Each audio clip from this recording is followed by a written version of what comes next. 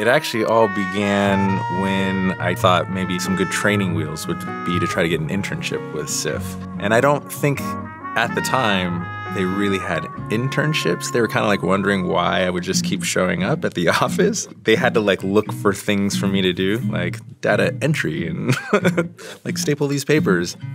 The office was above the Egyptian, if I remember correctly. In order to kind of access the other parts of the office, you had to kind of walk around the theater but it was in the rafters of the theater. That was my favorite part of the day was walking around those rafters and looking at the Egyptian theater empty, lights dim, and this just kind of imagining what it would be like to play my own film there. And I was really fortunate 5 years later to be able to do so in a packed house after being a what I thought was an intern at at SIFF.